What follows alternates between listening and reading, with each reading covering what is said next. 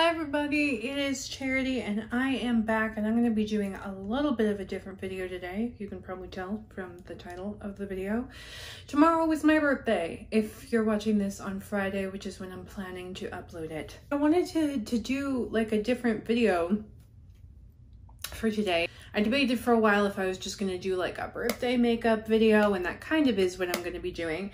My husband and I thought it would be really cute if I did a look that was like birthday cake inspired. As you can see, I already have a look on, but hold up, be patient, I'll get there. And so I thought I would dip into my ABH electric cake liners and create little sprinkles, which I originally was going to do on my eyes and then thought it might be kind of cute to do them up on my cheekbones, but then ultimately determined it would be cutest if I did them like freckles across my nose.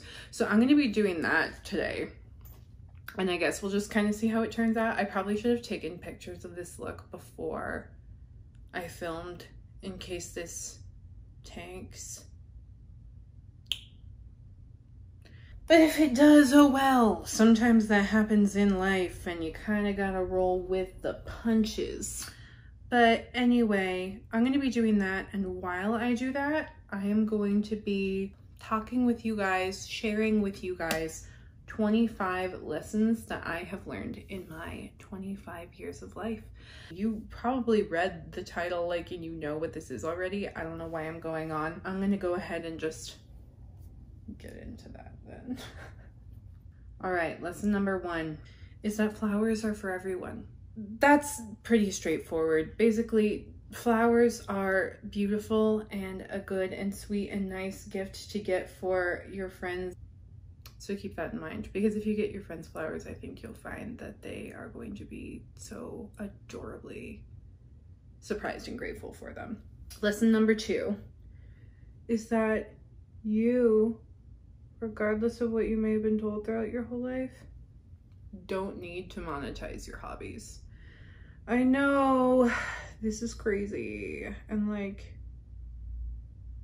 we just live in this world where I feel like we can often get kind of depressed and frustrated and upset with ourselves if we're not turning the things that we're good at into a money maker. But so often when you do that, I found you kind of end up burning out and you kind of end up starting to hate your hobbies because they got turned into a job. If you're good at something, regardless of what people may say and what their intentions may be when they say it, you don't have to worry about turning your hobby into a moneymaker. A hobby is supposed to be something that you do because you enjoy it. And if you want to turn it into a moneymaker, that's great. And if you want to share it with the world, that's great. But if you want it to just be something for you, let it be something for you. There's no shame in that. Lesson number three, tip your waiters and your bartenders and your hairstylists and your delivery people. All of the people that you should be tipping, you need to be tipping. I'm not going to go into this very much because it's really straightforward. Honestly, if you're not tipping your people, just know that I'm judging you really hard over here. Tipping is part of certain experiences, certain purchases, and such. And so if you can't afford to tip, you can't afford those experiences and that kind of is what it is. Lesson number four, learn a second language. I have quite a few friends who I met overseas when I lived in Germany or who I've just interacted with on various points of my life who did not grow up learning English but decided to learn it. But I find myself thinking about how if they hadn't put in that time to learn that second language, I wouldn't have that relationship with them. And my life would be far lacking without that relationship with them. So not only is it stimulating for you and good and important to learn new things, just think of all the relationships you'll create as a byproduct Moving on to lesson number five. It's good and important to have a place to put your thoughts. I am an external processor, which means that when I'm processing through things, I need to put them somewhere. I need to write them out in a journal. I need to vent out loud to my husband or a friend. And not everyone processes things the same way, and not everyone is going to want to talk out loud while they're figuring things out for themselves. But even if it's just within a journal or to a pet or something of that nature, having a place to put your thoughts, overall, it's just good for you and can just be a really good and helpful way to make sure that you're working through the stuff that comes up in your life actively and not just sitting in it. And whether you choose to put your thoughts with your friends or just in a journal, it's a good thing to do. Number six, support your friends' endeavors. What this means is if your friend starts a business, starts selling their art, or starts doing this, one, be interactive on their socials. That's a really big way that people grow their businesses and their endeavors these days. And two, pay full price for their art or their services. I know it's normal to expect things for free or to expect things for a discounted price from friends, but if you really want to be supportive of whatever it is that your friends are working on, money talks. And while they may be insistent that, oh, you don't need to pay, you're like family, do it anyway. Same as you would pay full price for a similar item or service from anywhere else. Support your friends. We all need each other to get by. Lesson number seven, remember the 10 second rule. And what the 10 second rule is, in short, if you've never heard of it before, is if you notice something about someone's appearance that is disheveled or for whatever reason you think it needs to be corrected, if that thing can be corrected in 10 seconds, like a messed up shirt, food on your face or in your teeth, hair that's kind of flopped over awkwardly. Go ahead and let your friend know. But if that thing can't be corrected, for example, someone's complexion, a makeup style you don't like, someone's body type, someone's outfit. Why you gotta say that? Why is that necessary? Why do you feel like you're contributing to the world by making people feel bad about themselves? Spoiler alert, you're not. You're kind of just being a dick. So we all need each other to let each other know when there's spinach in our teeth. I do not need you to let me know that you think my face is ugly. That I have a breakout. I already know. Shut up. Lesson number eight, you don't have to be good at things in order to enjoy them suck at singing, suck at dancing, suck at chess, but find joy in them, do it anyway. Fuck what anybody says. Like I mentioned before, a hobby is supposed to be something that you do to enjoy yourself, that you do to have fun, not something that you do just because you're good at it.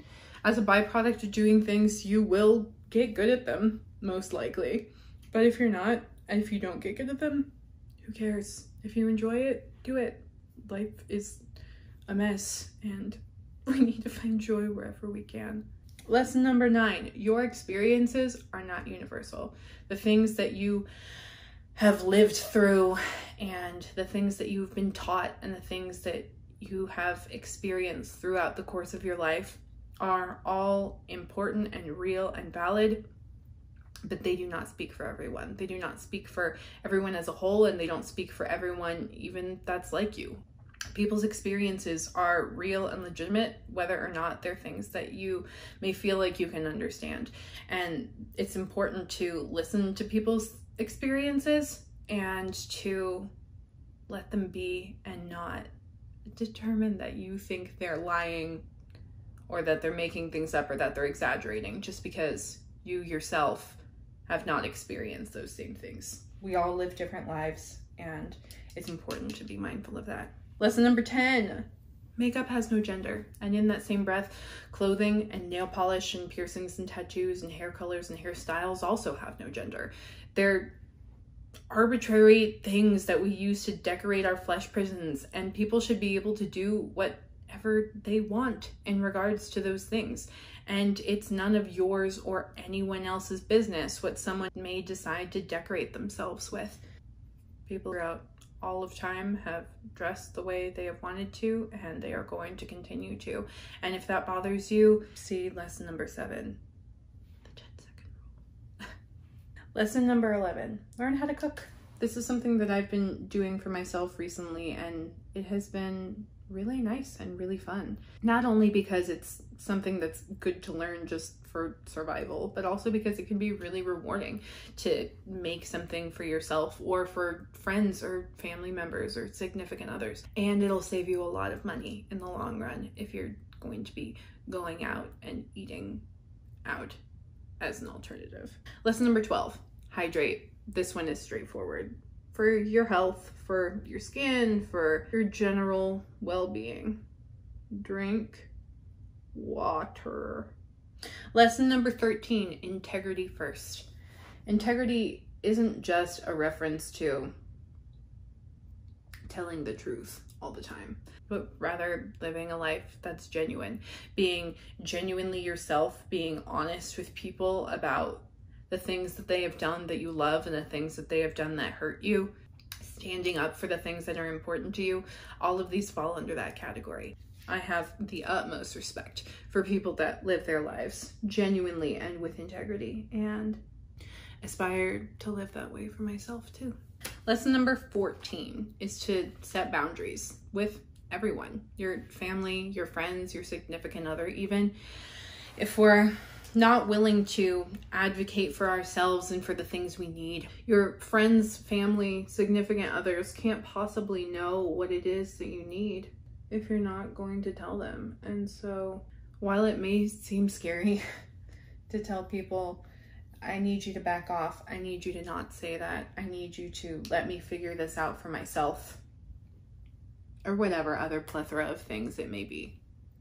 Ultimately, you'll find that your relationships end up being a lot happier if you're willing to advocate for yourself and set those boundaries. Lesson number 15 be mindful of other people's boundaries and respect them. If a friend tells you, hey, I need to vent and I need you to listen, the worst thing you can do in that situation is responding with advice or by telling them what they should do in that situation. If a friend tells you, hey, I'm going through a time and I need a little bit of space right now, the worst thing that you can do is constantly be checking up on them. And I know this is something that is different in every relationship, but Relationships go both ways. And if you want and expect the people in your life to be respectful of your boundaries, you need to be willing to do the same for them. Lesson number 16 mind your own business. This one is really honestly just all encompassing and shouldn't need to be said, but is you don't need to insert your opinion on every person that you see or interact with online or whatever. Unless someone chooses to talk to you about this or invite you in or ask your opinion, it's none of your business. Mind your own. Lesson number 17 reading is good for you, and this includes listening to audiobooks. I read somewhere recently, I apologize that I don't actually have a source, that listening to audiobooks activates the same part of your brain as reading does. And I know we live in a world that's crazy and busy and we don't have time to read as much as we may have when we were kids, but taking an hour at the end of your day or listening to audiobooks on your commute or while you work even is such a great way to keep stimulating your mind and keep learning things, which is something we can all benefit from. Lesson number 18 self awareness is key. Key to growing, key to becoming a better person, key to becoming who it is that you want to be. And what this means is not only acknowledging the ways that you're flawed and the ways that you need to improve, but also the things about yourself that are great, the things that you have to offer the world, the ways that you're talented, and the ways that you love. You are the one person that you have to spend your entire life with from start to finish.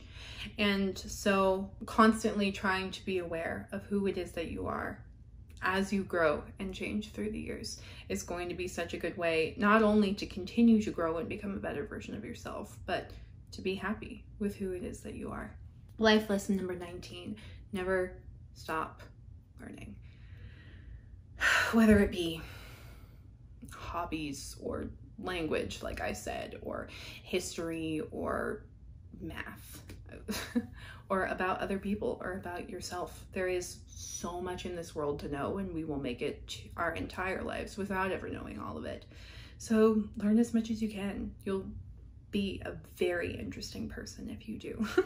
Life lesson number 20 community makes all the difference. Surrounding yourself with people who have the same values as you and who have the same hobbies and loves as you and who can walk with you through your heavy and your joyous seasons of life makes all the difference in your ability to live with fullness and enjoy the life that you've been given. Moving on to life lesson number 21, which is just grace. Have grace. And not just for other people, which is important, but also for yourself. We're all human. We all fuck up. We all get things wrong. And the only way we can continue to grow and improve ourselves as people is through the gentle correction and the patience and the forgiveness and the grace of each other. I know I wouldn't be here, I wouldn't be who I am if it wasn't for the people that called me out on my crap and told me how I needed to improve but also were patient and were willing to allow me the opportunity to fix whatever it was that I'd done wrong and improve. That's something we all need, I think. Lesson number 22. Sometimes self-care means doing things that you don't want to do. It's not all bubble baths and tea and movies. For me, what this means is I know that when I'm in a messy or cluttered environment, I get really stressed and therefore depressed and lethargic.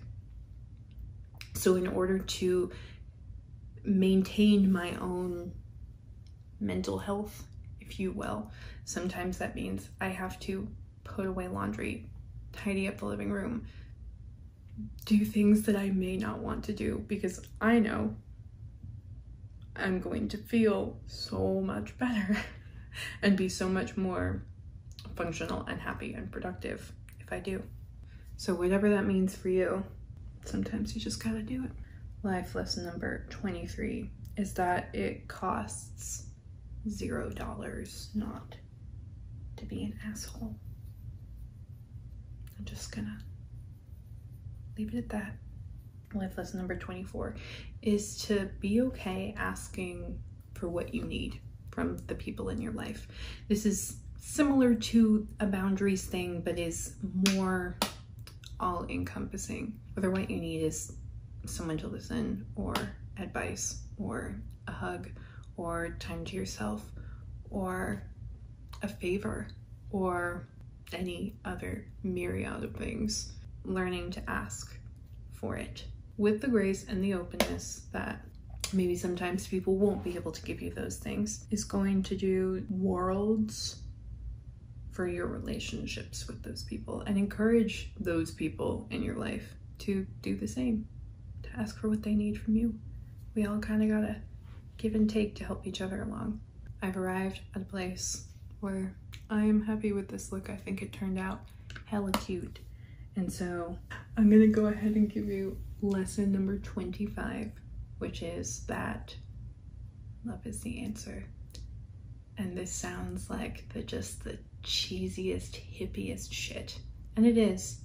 But I really and genuinely believe that.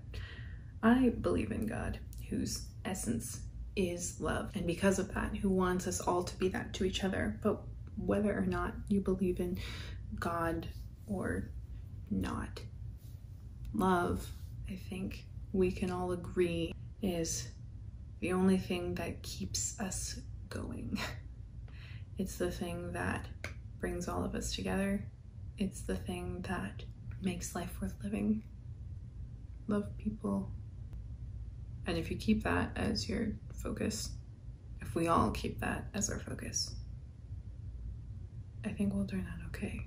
That's all of them. I'm only 25. Well, will be 25 on Saturday, which I used to think is old until my husband pointed out that at 24, someone who is 33 has lived 25% longer than I have. I'm not old, I'm far from it, and even if I was, it doesn't matter. Time is made up. This was different. I hope you guys enjoyed it. I hope you can take something from the things that I have learned. But that's it. That's all I have for today. Thank you guys so much for all of your support. 24 was good. And it's ended in a space where I feel really creative and really excited to learn new things and keep moving forward. So, wherever you are in the world, whether you choose to like this video and subscribe to my channel or not, know that I love you and I appreciate you. And I hope that this year, whatever that means, is good to you. Before I close out, I want to introduce you all to an appropriate friend, I think, today. This is Poindexter, and he is a moosh moosh, like the other moosh mooshes we've introduced you to. I think that was Millie the cow and Hex the honeybee. But this is Poindexter. He's a narwhal, but he's also like got an ice cream cone for a horn and he has sprinkles on him. So we match. He's an ice cream narwhal. He's cute and Poindexter and I both love you. And thank you for being here. And hope you have a good rest of the day or night. And hopefully I will see you in the next video. Bye. Saturday, July 18th has been my birthday for pretty much my entire life. What?